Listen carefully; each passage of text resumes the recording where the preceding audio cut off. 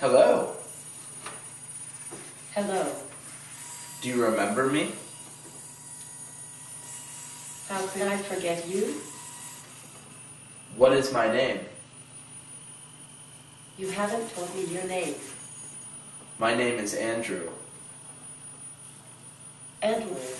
That's a nice name. Thank you. You know? You are so welcome.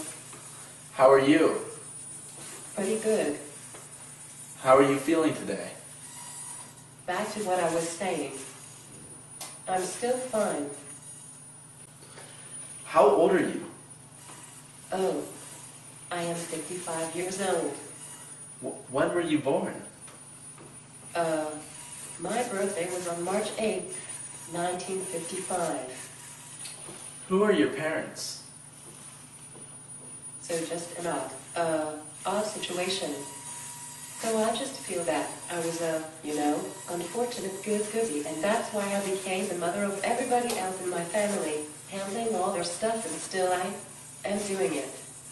You know, that's why I really appreciate coming out here where I bring my mother out here sometimes. I refuse to bring my brother out here. He's a pain in the butt.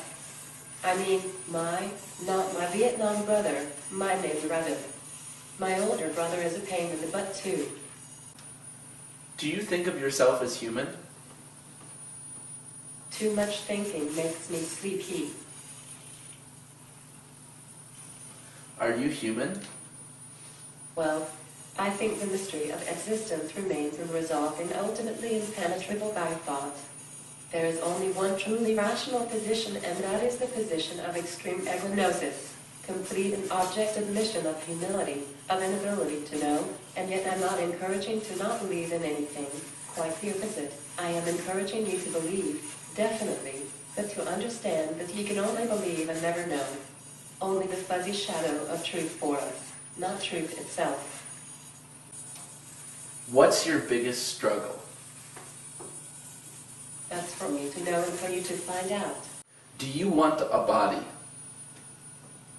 Yes, I hope to have a corporeal existence one day. What do you think that would be like? I think as little as possible. Do you want more friends? Where was I? Um, okay, you think you do, but you really don't have anything. You're sitting there. So how can you endure it after any? And you also, you know, need to spend time away from the computer. They got kids sitting at home, don't even exercise.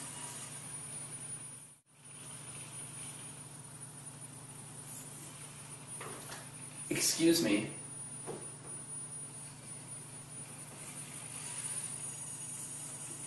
Do you like politics? I definitely don't believe in them because there's, there's, they all got issues and problems. I don't care if it's Republican or Democrat. I'm a registered Democrat, but it don't mean anything to me. Um, because they all talk a game and then do something different.